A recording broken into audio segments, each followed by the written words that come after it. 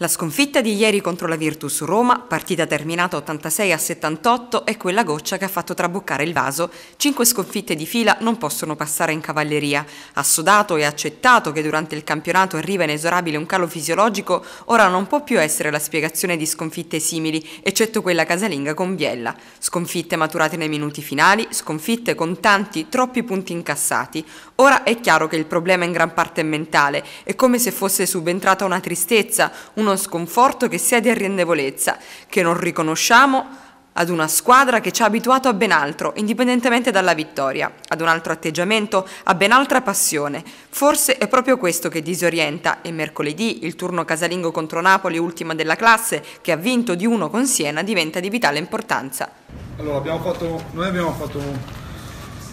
una, una partita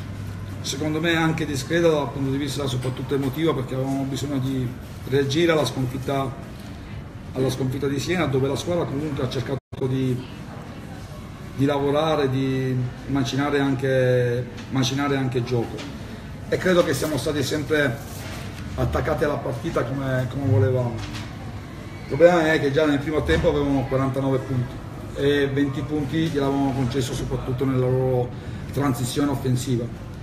e abbiamo commesso eh, un paio di errori soprattutto nel bilanciamento difensivo e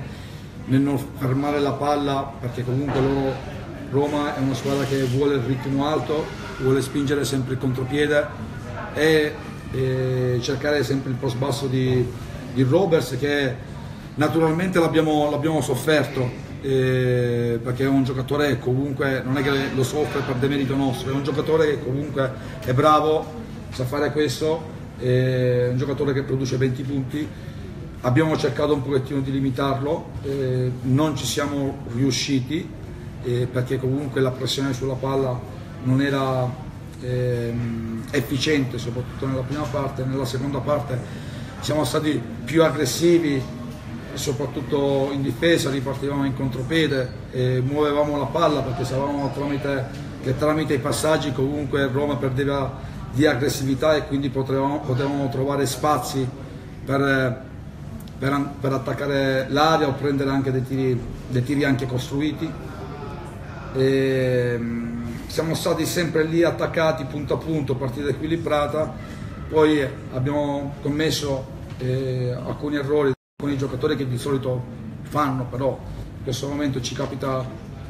capita così e poi dall'altra parte abbiamo comunque,